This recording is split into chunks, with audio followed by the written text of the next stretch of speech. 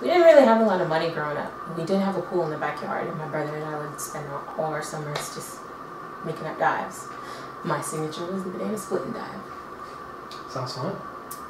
Except when Sean would hold my face underwater and fart. Whoop, little breast. How long has that been happening? I didn't notice. Oh, it's for you. anyway, in regards to your question, I don't think I want to do that. Not at all. It's just I really like my hair. I'm gonna cry every time I have to get a haircut. You won't necessarily lose your hair.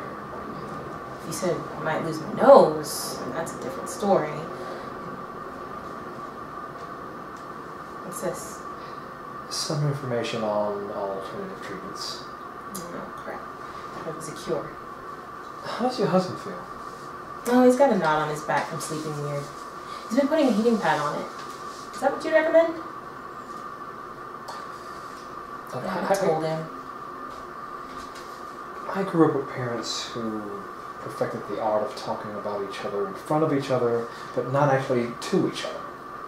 And still, you've shocked me. I'm just a very private person.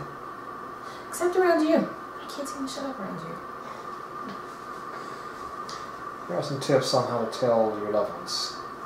A lot of people find it difficult. Are you married? No, but I think I want to know.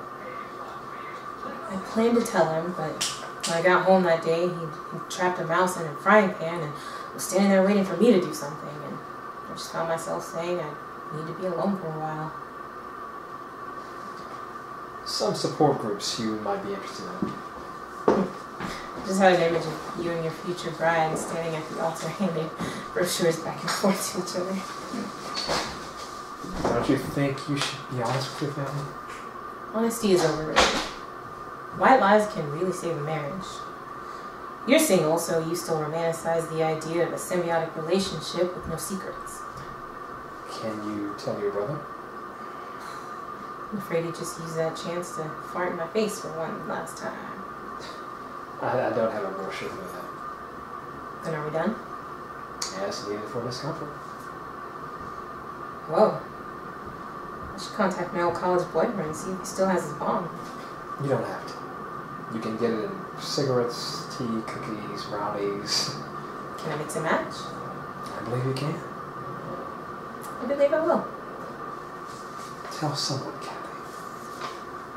Can I tell you?